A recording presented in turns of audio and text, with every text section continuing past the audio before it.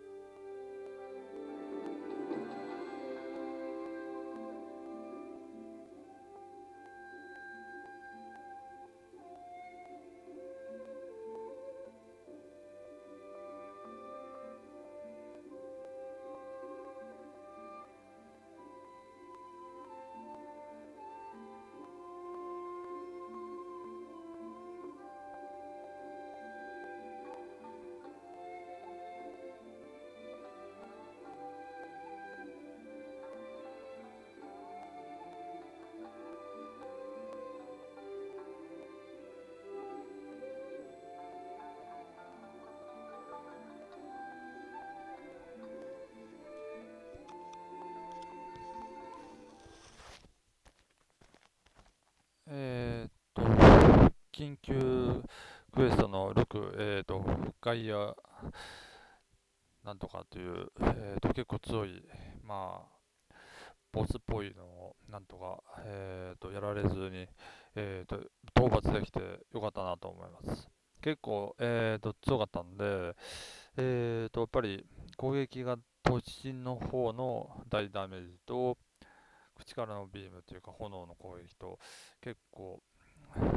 幅広い攻撃だったんで早めに避けて回避してできるだけダメージが当たるところに与えたって感じでなんとか勝てましたこれからも、えーと、マスターランク99あ999目指して頑張りたいなと思ってますのでどうかよろしくお願いします